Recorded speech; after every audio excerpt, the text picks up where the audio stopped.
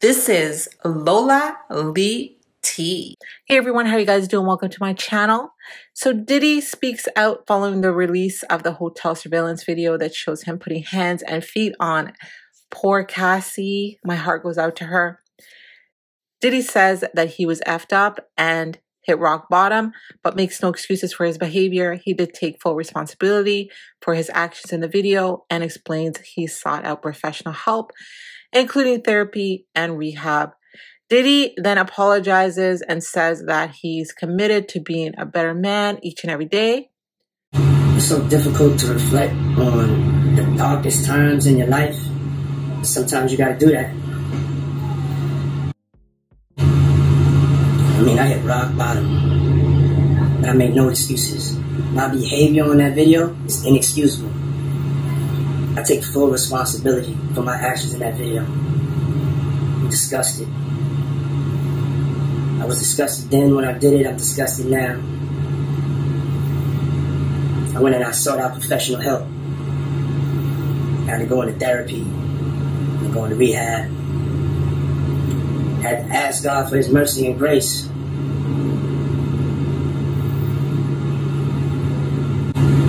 I'm so sorry. Committed to be a better man each and every day. I'm not asking for forgiveness. I'm truly sorry. But you know, the apology has fallen on deaf ears. He neglected to apologize directly to Cassie and also to the deceased Kim Porter. There's a lot of rumors about the relationship that it was similar to Cassie's. And many are feeling that he is only sorry because he got caught. And his denial of Cassie's lawsuit would have been the best time to show that he was a changed man and that he had sought professional help, that he was in therapy. A look at what he said then. When the lawsuit had come out, he said, he said time tells truth. And this was his statement, enough is enough. For the last couple of weeks, I have sat silently and watched people try to assassinate my character, destroy my reputation and my legacy. Sickening allegations have been made against me by individuals looking for a quick payday. Let me be absolutely clear I did not do any of the awful things being alleged. I will fight for my name, my family, and for the truth. Sean Diddy Combs. So here we have his uh, statement here, and then let's play his apology again. It's so difficult to reflect on the darkest times in your life. Sometimes you gotta do that. I mean, I hit rock bottom, but I made no excuses. My behavior on that video is inexcusable. I take full responsibility for my actions in that video. I'm disgusted. So, what happened with this uh, statement? Sickening allegations, but we witnessed the sickening allegations. I was disgusted then when I did it, I'm disgusted now. I went and I sought out professional help. I had to go into therapy, and go into rehab. I had to ask God for His mercy and grace. A totally different tune.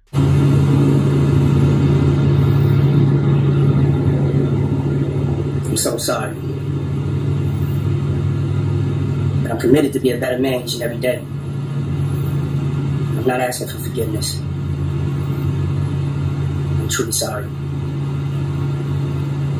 And let's remember the incident at the hotel was in Cassie's lawsuit. So here is what folks are saying. This person said, man, if that video was never released, you would have never been apologizing. Stop it. You're sorry because you got caught. It looks like he reading a script, and I agree with that. We are with you, Diddy. Stay strong. He's got a supporter here with uh, 106 likes. Oh well. No need to apologize. You're already cooked. So you didn't say sorry until you got caught, though.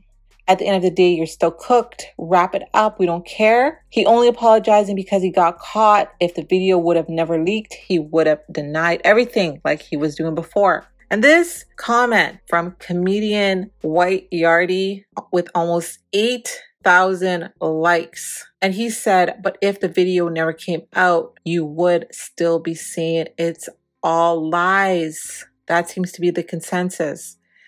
that if the video did not get leaked, Diddy would have still been denying everything. And that's pretty evident. A blind man can see that. And it looks like the apology has come too late because Diddy's former bodyguard says Diddy was putting hands on Cassie, Kim Porter, and many other women. Where is the apology for those women? Why did he not name the women that he's apologizing to? Could be he's got a pretty solid PR team behind him, and maybe they advise not to. I don't know. And you know what? This is also disappointing because so many aspired to be like Diddy. He was seen as a very inspirational figure. And I think it's safe to say that what we all witnessed was disgusting and disturbing.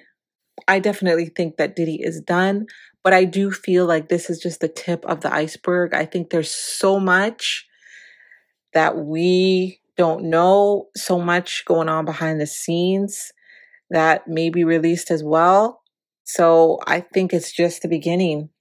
What are your thoughts? Do you accept Diddy's apology? Again, let me know your thoughts. Thank you guys so very much for watching. And Don't forget to like, share, and subscribe. If you have any hot tea for me, message me on Instagram. I love you guys. Bye.